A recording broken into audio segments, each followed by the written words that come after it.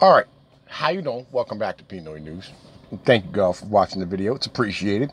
Thank you for coming by. Today, I bring you a story. All right. And I think it's important that I stand here and bring you stories that are not just up to date, but what's going on in the future, the future, the future. Because what happens in the future is being planned right now. FedEx just got kicked out of Amazon's carrier group, which means that they're no longer going to be carrying Amazon freight. Um, basically, what it was is that FedEx was on time 90% of the time, industry average is 91% of the time, and Amazon's on time 93% of the time with their deliveries.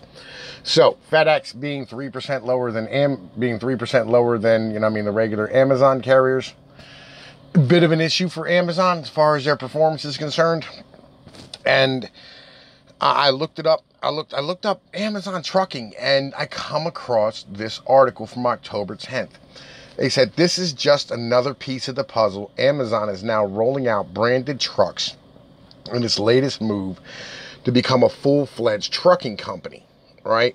Amazon is rolling out a fleet of branded truck tractors. Since 2015, Amazon has used branded trailers.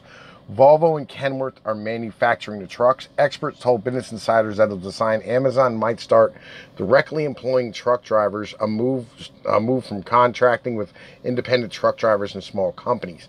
They don't just use small companies. Like uh, I've ran freight with JB Hunt for Amazon all over the place for years. Um, Swift runs them, uh, Dart runs them but it's mostly stuff that goes from like Amazon warehouse to Amazon warehouse. So, you know, with that being said, Amazon's rolling out a fleet of branded truck tractors its moves to become a full-fledged logistics company. Ah, logistics. Anybody don't know what logistics is? Yo, look, that's this is kind of my motif. That's my MO. Business Insider has learned Volvo and Kenworth are manufacturing the trailers. It is not known how many trucks are being made or when they'll be released. But across the country, truckers said that they spotted these tractors at Volvo and Kenworth. The tractor is what's known as day cabs rather than sleeper cabs, um, which means it doesn't have a bed in the back, so like you're going to have to make it home every day right? Um, indicating that the drivers won't uh, won't sleep there, so the trucks will be used for distances 400 miles or shorter. That's 300 miles or shorter. It's basically what you can run safely. You have an 11-hour day, um, you know, give an hour for traffic and having to move around people's yards and stuff. And I mean, kind of put you down to about, you know, I mean, being able to run about 300 miles one way, 300 miles back. Know, I mean, that puts you at, at 10 hours on the road at 60 miles an hour. SJ Consulting Group's principal consultant Satish Jindel said, Amazon confirmed the news and refer- uh, reference an April 15 video posted on Twitter by Dave Clark, Amazon's senior vice president of operations. The video shows a Volvo and Volvo and Kenworth tractors with Amazon branded trailers.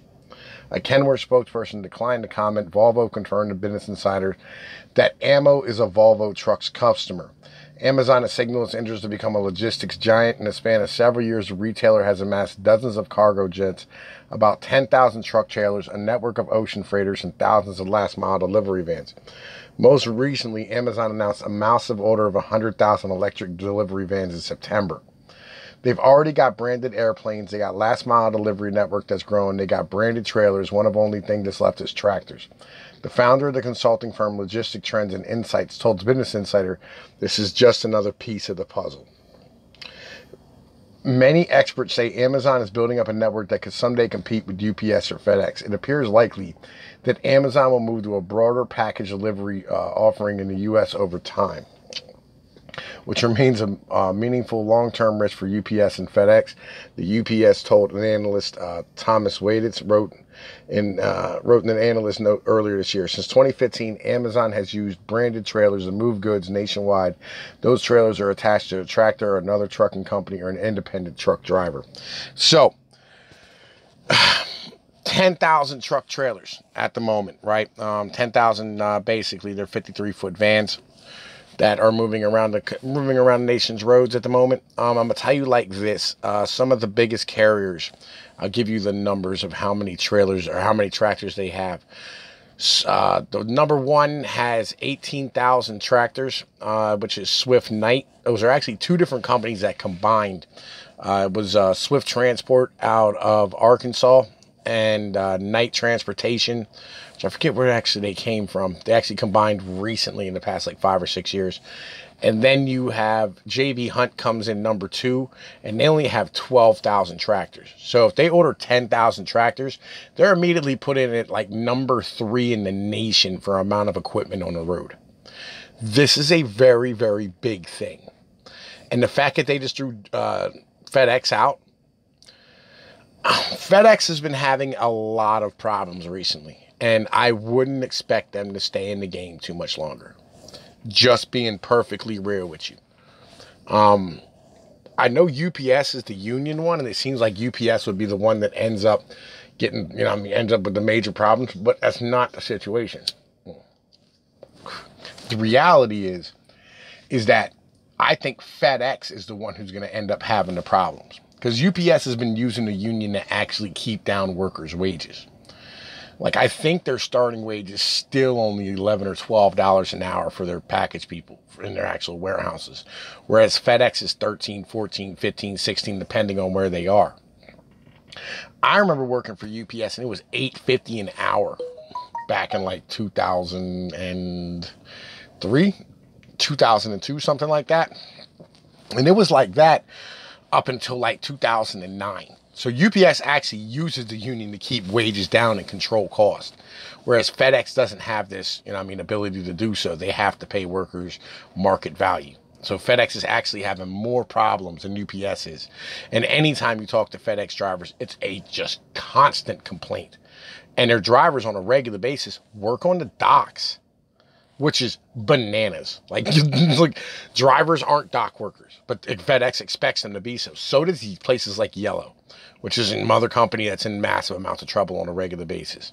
So, with that being said, I wanted to bring y'all the story. I thought it was important. I think it's something that we should all be keeping an eye on about what's going on with Amazon.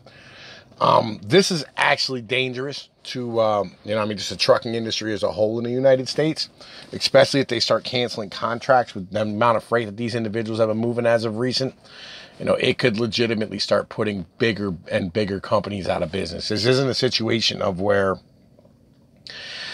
uh, you're going to have a bunch of uh, like jobs kind of like disappear and be recreated elsewhere. This is more along the lines of where you're going to have a company that's going to downsize the size of the industry and they're going to steal enough freight off of people and enough money that, you know, I mean, companies like Swift Knight, where, you know, Swift like bought Knight, they're in debt by buying Knight and you end up standing here with that like situation where we are with the retail problem where whole companies are just going to collapse and jobs are just going to disappear altogether you know, well, what the freight, the freight has to move. Like, yeah, they're going to end up combining it, you know, and it's going to end up just crashing down. Like Swift kind of runs off the seat of his pants with a whole lot of money, and I mean, in debt, just you know, I mean, sitting out in the stock market. So we'll see what happens. You know, I mean, I actually had a chance to talk to my managers about this last night. Like, you don't got to worry about it with us. you got to worry about it with everybody, especially you know, I mean, like what's happened with Celadon. You know, I mean, last week. You know, this is a problem that's coming. You know, I mean, with the retail apocalypse happening, are happening, and then now you have, you know, I mean, the trucking companies are going down. You know, I mean, this could sign, you know, I mean, the death nail for the U.S., you know, I mean, economy as far as stuff's concerned. So we'll see what happens. You know, I mean, wanted to bring you this story. You know the deal, man. Like, share, and subscribe. Come back for more content. I'll be around. Later. Peace.